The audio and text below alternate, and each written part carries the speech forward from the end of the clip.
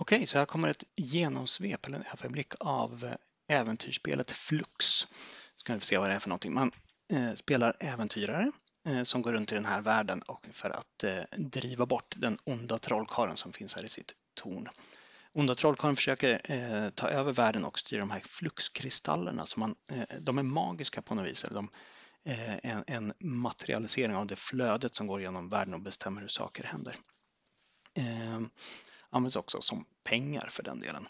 Eh, spelet i princip går ut på att äventyrarna går runt eh, ett par steg i taget beroende på vad man slår.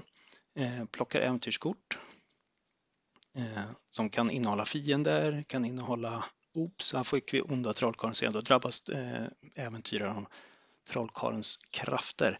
Det händer extra onda saker. Man måste också blanda om högen efter det. Hitta värdefulla fynd, träffa en arg bonde och sådana saker. Eh, varje äventyrare eh, eller spelare, beroende på hur man ser det, har ett eh, karaktärsblad där man har sina kroppspoäng. Fem stycken av krigaren från början men bara tre magipoäng.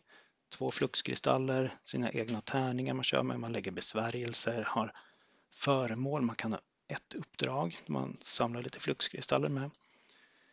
Ehm, Färdigheter där man levlar och blir bättre och bättre vilket gör att man kan använda lite häftigare saker och göra mer grejer, ta sig in i och klara sig bra i allt farligare områden i den här världen.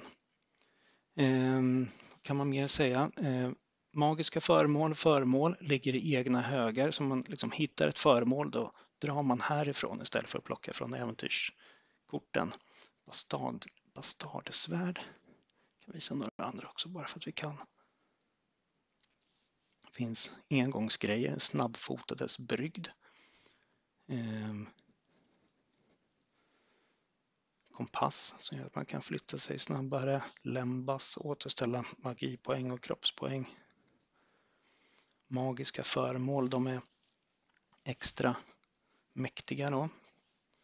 Eh, ungefär hälften kanske är magiska vapen, resten är andra häftiga grejer med vindens halsband, allt vad man kan hitta, och tänka sig.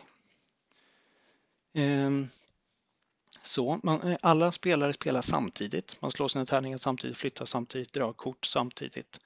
Eh, så det bara flytta på rätt bra det här även med eh, flera spelare eller många spelare.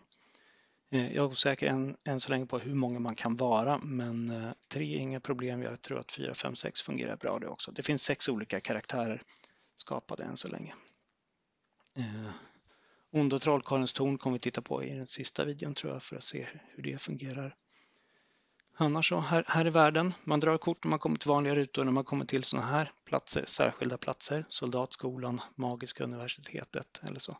Eh, då gör man istället handlingar, särskilda handlingar som finns på de ställen. Man kan lära sig besvärjelser, träna på besvärjelser, man kan träna på att använda enhandsvapen hos världsmästaren. eller tvåhandsvapen eller eh, avståndsvapen i soldatskolan.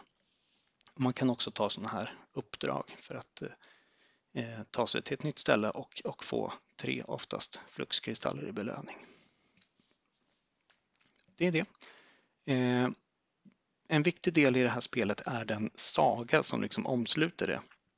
Utan den sagan så blir man inte så, så blir det mest bara slå tärningar och dra kort tänkte jag säga. Och, eller, eh, den sagan får saker att, att eh, falla på plats och, och eh, stötta varandra. Så att den eh, bör man börja spelomgången med om man inte har hört sagan förut. Och den kommer i nästa video. Vi ses där!